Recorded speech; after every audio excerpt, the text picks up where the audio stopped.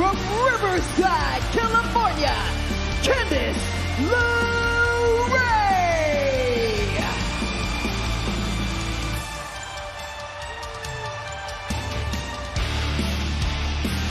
Well, Friday Night SmackDown is sponsored in part by Call of Duty Mobile. Download Call of Duty Mobile for free and get limited time rewards. Wade Candice LeRae, a superstar who's been scratching and clawing for an opportunity for a long time here in WWE. We talk about the possibility of money in the bank changing a superstar's career. How true is that for someone like Candice LeRae who hasn't necessarily had the success she sought?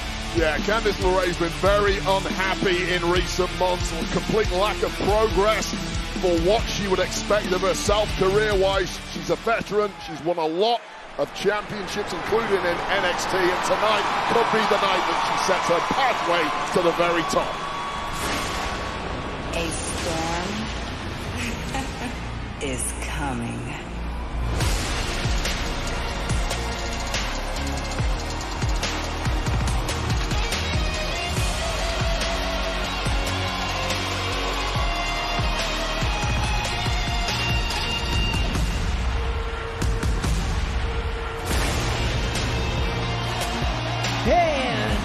From Vero Beach, Florida, Jade Cargill. This is a massive opportunity. Some would even say, Wade, make or break for Jade Cargill. This is the world's most famous arena. Thus far, Cargill has absolutely lived up to the hype.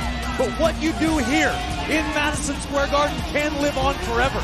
How do you see Jade faring tonight, Wade? Yeah, I'm excited to see how Jade reacts today. This is really the first glimpse of Jade we've had since Clash at the Castle where her and Belair lost the Women's Tag Championship to Fyre and Dawn. Of course, they were not pinned. They're insisting they want a rematch in the not too distant future. We'll see if that happens.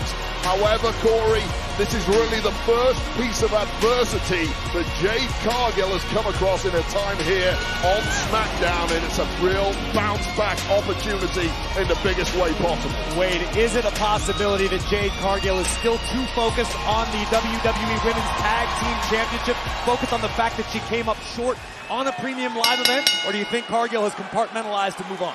Yeah, it can really hurt a superstar's career, especially when they haven't had a lot of reps here, like Cargill, but she is out of the blocks hot. Nice start. Sometimes raw power is a hell of a substitute for experience, as Cargill has shown on multiple occasions. Ooh, you got to give the experience advantage in this matchup to Candice LeRae, a world-traveled grappler.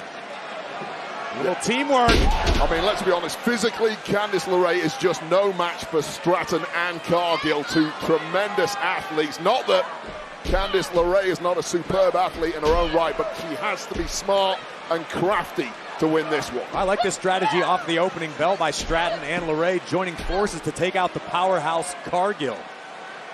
Yeah, it's the smartest thing you can do here. Clearly, Cargill, a massive threat. Anytime that bell rings, take her out early and turn this into a one-on-one matchup. And this women's Money in the Bank qualifying matchup, obviously being contested under triple threat rules. The only way to win is by pinfall or submission. No count out, no disqualification.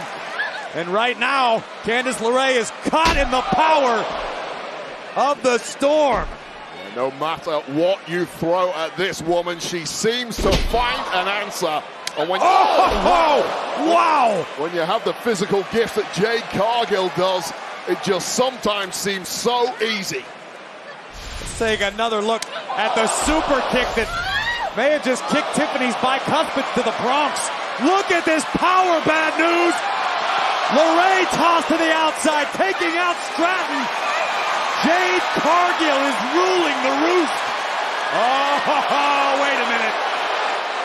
The irresistible force, Queen Nia Jax has hit the scene. But why? Wait, wait. But why?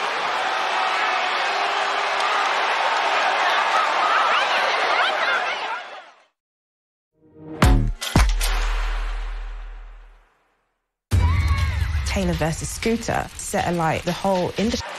This is a women's Money in the Bank qualifying match from a sold-out Madison Square Garden in New York City.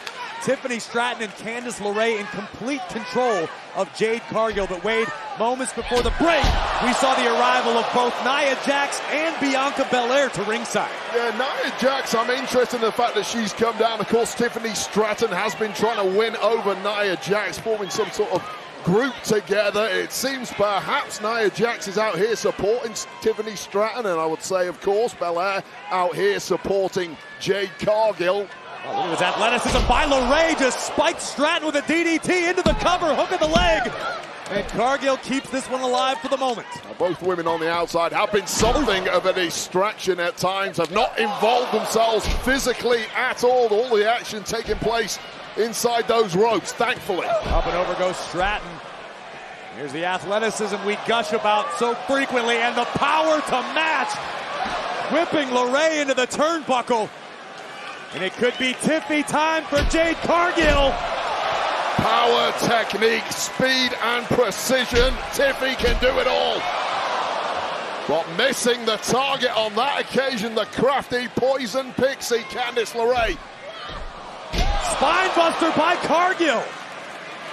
Just no room to hide in this kind of matchup. Cover by Stratton. Candice LeRae preserving her own opportunity to head to Toronto to the Money in the Bank ladder match. Seemingly an opponent fresh at all times. Quick thinking, quick reactions, and quick pins are the key to victory in this kind of match.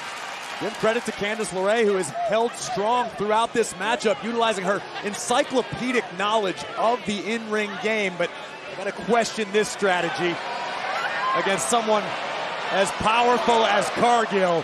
Perhaps underestimating the powers of recovery of Jade Cargill, who looks back to 100%. She made an adamantium, like Wolverine. Boom! I wouldn't put it past her, Corey. Cargill sent crashing to the outside. Just a nice move there from Tiffany Stratton, baiting in Jade Cargill, diving out the way at the last possible second, and that was a heavy landing for Cargill, and Nia Jax is loving it. Keep your eyes on the EST. Turn around, Queen.